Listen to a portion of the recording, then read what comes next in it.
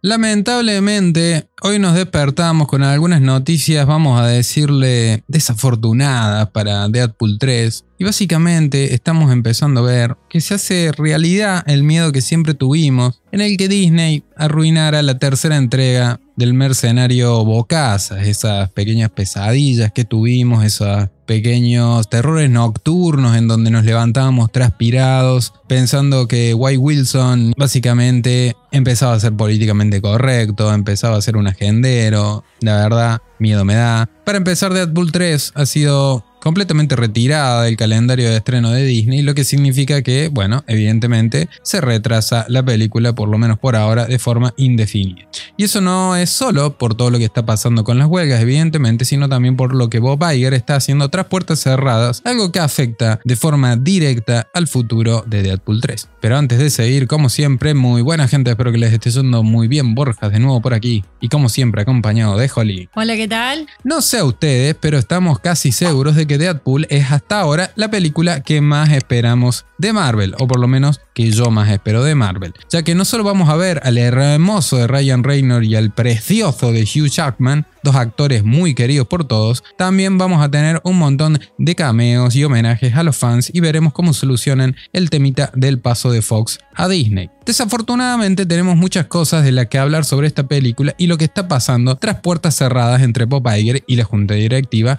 quienes se están aprovechando de la actual situación de la huelga para hacer una serie de, vamos a decir, pequeños ajustes, ¿no? A esta película que está siendo creada por Reed Reese y Paul Wernick. A pesar de que en junio de 2022, en una entrevista con Discussion Film, justamente estas dos personas que mencioné antes, y como mi Open English es bastante malo, me niego rotundamente a volver a mencionarlos, confirmaron por segunda o tercera vez que Kevin Feige y su equipo les dieron una total libertad para trabajar en la historia de la película y que ellos no temen que las cosas cambien para básicamente sus ideas, ¿no? Y Reis explicó. Es casi como ponerte un viejo suéter muy cómodo. Marvel realmente nos ha dado todo el apoyo para mantener el tono y la visión que tenemos para esto. Han sido muy prácticos y solidarios, pero también nos han dejado hacer lo que hacemos. Así que realmente ha sido muy divertido. Somos científicos locos, de nuevo en el laboratorio. Deadpool es nuestro favorito y siempre será el personaje con el que creo que estamos más asociados. Y estamos muy agradecidos por habernos permitido escribirlo de nuevo. Así que es una maravilla. Es wonderful. Es como volver a la escuela después de como volver a la escuela después de tener vacaciones de verano. Es bastante divertido. Es very funny. Mi inglés, viste cómo va mejorando. OpenEnglish.com.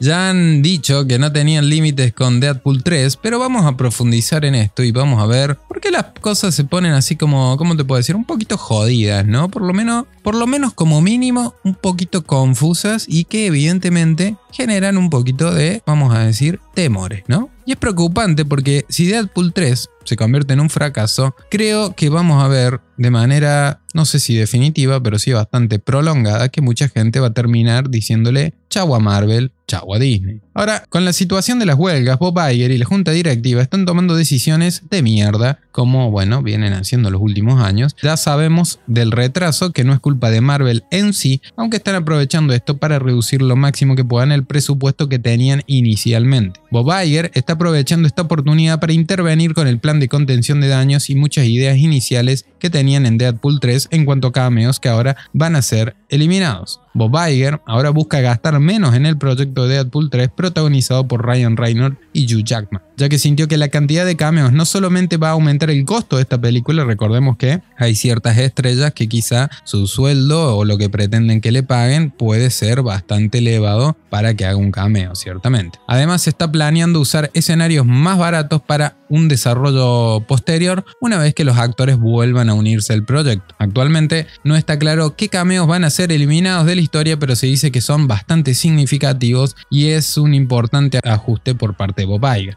Que tengo para agregar, ya habíamos visto hace un par de semanas atrás que el traje de Deadpool 3 se veía bastante eh, feo en comparación con lo que vimos en Deadpool 1 y 2. Además, Bob Iger también quiere incluir algunas de esas agendas progres en esta película, lo que podría sugerir que tal vez, y solo tal vez, haya reescrituras en el horizonte para esta película en el futuro cuando sea posible. Porque recordemos que no lo pueden hacer en este momento debido a la huelga, la posibilidad de reescritura escribir parte de la película antes de lanzarla a los cines existe. Bob Iger quiere que se incluya más agenda en Deadpool 3, algo que todos pensamos y seguimos pensando que en algún momento va a pasar. Mucha agenda, poca agenda, algo sutil, como sea, va a pasar. Sin embargo, Bob Iger quiere afianzarse en esto. La Junta quiere seguir metiendo más y más agenda sin importar lo que esté sucediendo en Florida. El problema con Deadpool 3 en este momento es que he visto a varias personas diciendo diferentes cosas. Por un lado, mucha gente está emocionada por la película debido a los cameos, otras sienten que Deadpool 3 va a ser una mierda gracias a la cantidad de cameos en esta película. Sin embargo, yo no creo que lo de los cameos sea la verdadera ruina de esta película si saben cómo incorporarlos a la trama y no hacen algo similar a lo que hizo Flash, sino más bien como pasó con la película de Spider-Man No Way Home. De lo que sí podemos estar seguros es de que Bob Iger sí es capaz, o sí podría llegar a ser capaz, de llevar esta película a la ruina. A ver, ya sabíamos que eso iba a ser Deadpool. Esta es literalmente una película llena de cameos para el fanservice. Y el hecho de que tengamos a Hugh Jackman de regreso como Wolverine, eso es algo que nos alegra mucho y deja muy en claro más o menos por dónde van los tiros. Por otro lado, a muchas personas les hubiera encantado ver, tal vez, un nuevo actor para el personaje o algo nuevo. Yo, en mi caso personal, y creo que vos también, apoyamos completamente el regreso de Hugh Jackman. Creo que es un gran movimiento y creo que Reed tomó una gran decisión al traerlo de vuelta. Pero lo que sí me preocupa es que Bob Iger está tomando este retraso indefinido en sus propias manos y está aprovechando eso para hacer muchos cambios en esta película que probablemente no nos gusten para nada. En primer lugar, van a reducir costos. En segundo, van a incluir más agenda progre. En tercero, cortar escenas de cameos específicos o aquellos que estaban planeados en el guion y abaratar los escenarios. Es inevitable preguntarse si Disney está boicoteando Deadpool 3. ¿Con qué necesidad? Las dos anteriores fueron un éxito, déjenles hacer lo que quieran porque saben lo que tienen que hacer. Hasta el momento varios cameos se eliminaron de Deadpool 3 y estos eran personajes muy reconocibles e inesperados, por lo menos eso comentan, algunos de los cuales nunca habían aparecido en un live action, te repito, al menos eso comentan. Por ejemplo, uno de los cuales supuestamente iba a ser un villano de Spider-Man que nunca había visto un live action antes, era el Scorpion en el universo de Tom Holland. Lamentablemente esto está siendo eliminado y es uno de los muchos cameos que están siendo descartados. Obviamente entre medio de todo esto también se puede sumar el hecho de que haya algún que otro cameo descartado por ridículo porque directamente no va en la trama, así que tampoco es que todo es tan malo. Quiero, o sea, quiero intentar tener un poquito de mente positiva, pero bueno. También se plantea cortar la duración de la película, que nuevamente puede estar bien, puede estar mal. Según la solicitud de Bob Iger y la junta directiva a Shawn y Reed, el director y escritor de la película, incluso se afirma que Ryan Reynolds está enojado por la última decisión de Disney de también eliminar las bromas sobre Disney, que rompen por supuesto con lo que sería la cuarta pared. Ahora, Supuestamente, y repito, supuestamente la película tenía un momento en el que se rompe la cuarta pared donde Ryan Reynolds básicamente se burla de Disney unas cuantas veces. Esto, evidentemente, es algo muy normal con el personaje que ya había hecho en muchas ocasiones. Siempre me, río mucho de eh, la, cuando hace la, la broma con respecto a Linterna Verde, que es la película de DC que él mismo protagonizó. Obviamente en esta tercera entrega quiso ir un poco más lejos y aprovechar que lo podía hacer y burlarse de Disney y justamente Disney no estaba a favor de eso y es por eso que Bob Iger está aprovechando la oportunidad durante este retraso indefinido para eliminar este tipo de cositas del guion. Aunque no pueden eliminar oficialmente nada en este momento, se está marcando y mapeando hasta que la huelga se levante. Así que honestamente estamos muy preocupados por todo lo que está pasando por Deadpool 3, porque teníamos mucho hype para esta película, parecía que iba a ser muy grande y divertida. Lamentablemente tener a Bob Iger o Disney involucrado no es algo positivo precisamente. Ahora probablemente todavía veremos algunos cameos en esta película. Es un hecho, vamos a ver varios cameos, algunos de los cuales ya conocen o han visto otras películas, otros que nunca aparecieron anteriormente, etc. Aunque muchos están siendo